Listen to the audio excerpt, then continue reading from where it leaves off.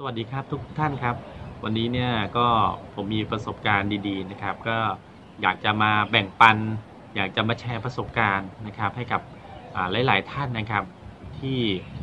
วันนี้ผมเชื่อครับหลาย ๆ ท่านอาจจะประสบเคยประสบปัญหาในเรื่องของการที่หัวหน้าหน่วยงาน ผู้ขับบัญชา หรือแม้กระทั่งตัวเราเองนะครับ ที่มีความจำเป็นจะต้องออกไปนำเสนองานต่อหน้าที่สาธารณะนะครับ หรือต้อง ไปทำหน้าที่เป็นพิธีกร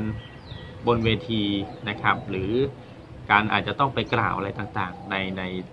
บนเวทีหรือที่ชุมชนนะครับ ซึ่งปัญหาที่หลาย ๆ คน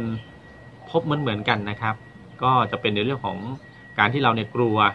ใช่ไหมฮะเรากลัวที่เราจะทำผิดพลาดนะครับ กลัวที่จะอ่าทำได้ไม่ดีเท่าที่ควรนะครับ กลัวผู้ฟังเขาตำหนิเรานะครับ ซึ่งปัญหาตรงนี้นะครับอยากจะบอกว่าผมเองเนี่ยก็ก็เคยประสบปัญหาตรงนี้มาเหมือนกับ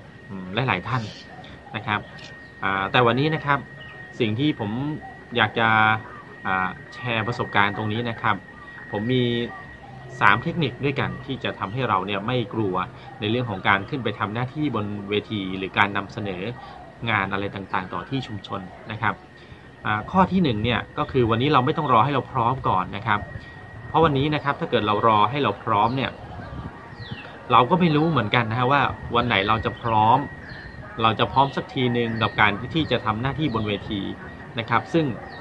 ซึ่งมันอาจจะไม่มีวันนั้นก็ได้นะครับ เพราะเราก็จะปฏิเสธไปเรื่อย ๆ นะครับ ว่าวันนี้เรายังไม่พร้อมเราต้องมีข้อมูลมากกว่านี้ เราต้องเก่งมากกว่านี้ สุดท้ายเราก็ไม่ได้ขึ้นเวทีสักครั้งหนึ่งใช่ไหมฮะส่วนข้อที่สองเนี่ย ก็คือในการขึ้นเวทีครั้งแรก หรือการนำเสนอต่อที่ชุมชนเป็นครั้งแรกเนี่ยเราก็อย่าเพิ่งคาดหวังนักว่าเราจะต้องทำให้สมบูรณ์แบบในครั้งแรกนะครับ เพราะว่าทุกๆเวทีทุกๆประสบการณ์เนี่ยมันจะพัฒนาทักษะของเราให้เราเรียนรู้ไปเรื่อยๆนะครับแล้วก็อ่านำเสนอหรือพูดได้ดีขึ้นเรื่อย ๆ นั่นเองนะครับ ข้อสุดท้ายเนี่ยข้อที่3เนี่ยเป็นหัวใจสำคัญเลยครับ ไม่ว่าเราจะเตรียมตัวพร้อมแค่ไหน มีข้อมูลมากแค่ไหนนะครับ ก็สู้การที่เราได้ลงมือทำจริง ๆ ไม่ได้นะครับ ก็คือเราต้องขึ้นไปพูดเลยนะฮะขึ้นไปพูดหน้าเวทีเลยบนอ่าหรือพูดต่อหน้าชุมชนเลยนะครับ หรือได้รับหน้าที่ให้ทำหน้าที่เป็นพิธีกรเนี่ยเราก็ทำหน้าที่เลยครับลองดูนะครับ ในเมื่อเราเตรียมตัวมาแล้ว เราก็ทดลองพูดดูเพื่ออะไรครับ เพื่อสัมผัสบรรยากาศนะครับ เพื่อได้ อลองเรียนรู้ว่าเมื่อพูดจริงๆเนี่ยมันเป็นยังไงนะครับ แล้วเราก็ค่อยๆเรียนรู้ในทุกๆเวทีพัฒนามันไปเรื่อยๆ ใช่ไหมครับ สุดท้ายแล้วเนี่ยเมื่อเวลาผ่านไปนะครับ เราเก็บเกี่ยวประสบการณ์มากขึ้นเนี่ยเมื่อย้อนกลับมามองอีกครั้งหนึ่งเนี่ยเราก็กลายเป็นผู้ที่มีความกล้านะครับ มีความเชี่ยวชาญนะครับ แล้วก็สามารถทำหน้าที่บนเวทีได้เป็นอย่างดีนะครับ เป็นที่ไว้วางใจของ คนรอบข้างหรือหน่วยงานไปแล้วนะครับ ตรงนี้ก็ถือว่าเป็นเรื่องที่น่าจะเป็นประโยชน์สำหรับหลาย ๆ ท่านที่ยังกังวล และก็กลัวที่จะขึ้นเวทีอยู่นะครับ เพราะนั้นวันนี้ 3 เทคนิคง่าย ๆ เลยนะครับนะครับก็คือ1เนี่ยไม่ต้องรอให้เราพร้อมนะครับ ข้อที่ 2 ก็คือออย่าเพิ่งคาดหวังว่าเราจะต้องทำได้ดีที่สุดในการขึ้นเวทีในครั้งแรกนะครับ ส่วนข้อที่ 3 ก็คือลงมือทำนะครับ ก็ถือว่าเป็นประโยชน์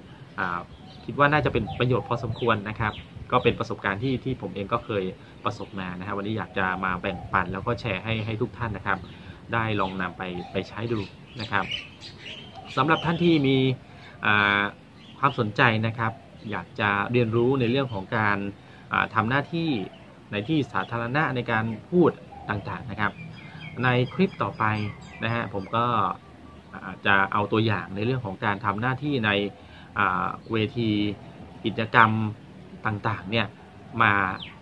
ามาถ่ายทอดมาแชร์ประสบการณ์กันนะครับ ถ้าท่านใดสนใจก็ก็ติดตามดูได้นะครับสำหรับวันนี้นะครับผมก็ขออนุญาตาลาทุกท่านไปก่อน สวัสดีครับ